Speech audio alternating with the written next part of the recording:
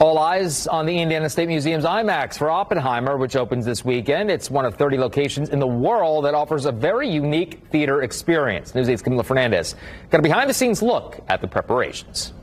Thousands of people will be pouring in at the Indiana State Museum IMAX to watch Oppenheimer. I grew up watching Christopher Nolan's movies, so I think it's a great, you know, film to see. Theater manager Neil Johansson is excited about the turnout. He says they'll be showing the movie the way its director Christopher Nolan intended it's really great to have uh, a theater like this in the city to be able to play a film like Oppenheimer on IMAX 70 millimeter film. Johansson says there were a lot of preparations behind the scenes to make it happen. He says the frames weigh more than 600 pounds, and the film is 11 miles long from the first to last frame traditional 35 millimeter film uh, and then uh, standard 70 millimeter film that has five perforations compared to the IMAX version that's got 15.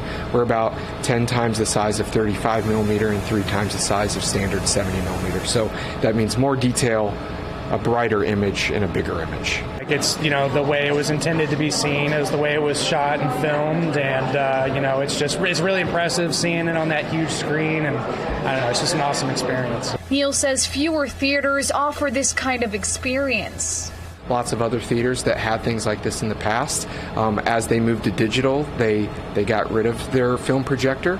Um, it's expensive to run and maintain, uh, but we held on to ours. He says more and more people are moving quickly to buy tickets. Around 14,000 tickets have been sold, and at least six showings are sold out. Neil says there will be moviegoers visiting from across the country, and sometimes they'll pull out the red carpet to add to that Hollywood experience. I got tickets on the day of sale, and they were already half sold out, and so we didn't even get the seats that I wanted. But I'm glad that we're still here. We're from Chicago, so we're not even from here.